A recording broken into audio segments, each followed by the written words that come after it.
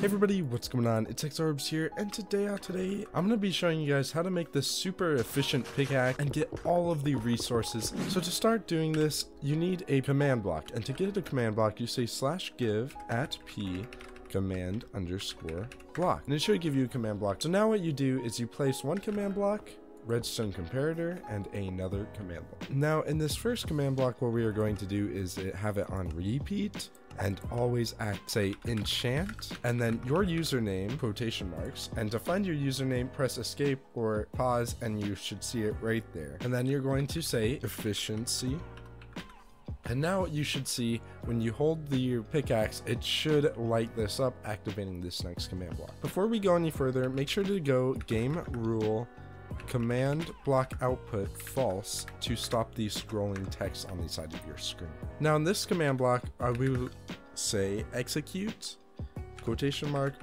uh, your username tilde tilde tilde fill tilde 3 tilde 3 tilde negative 3 tilde tilde negative 3 air 0 destroy so as you can see, this is the whole command. Don't worry, I will have the command in the description below so you can get to them easy. Now make sure to have this on a repeat and needs redstone. Okay, and now your pickaxe is ready. Make sure not to hold your pickaxe and around anything that's valuable to you.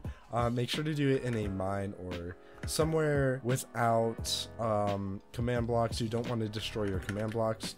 But let's say you want to destroy a bunch of these trees. You don't even have to click. It just automatically destroys what is in front of you. Yeah, that's about it for this video. If you did like this video, make sure to like and subscribe, and I will see you guys all next one. Bye!